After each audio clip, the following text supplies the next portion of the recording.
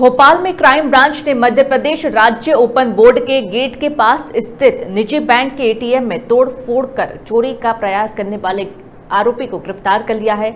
आपको बता दें कि वह कैब चालक है, वहीं खर्च के लिए पैसे नहीं होने पर उसने चोरी की साजिश रची है। उसने कैश पैनल को पेचकस से तोड़ दिया, हालाँकि कैश ट्रे तक नहीं पहुँच पाया। एटीएम में लगे कैमरे में उसकी तस्वीर कैद हो गई है, वहीं पुलिस ने पहचान कर उसे गिरफ़्तार किया।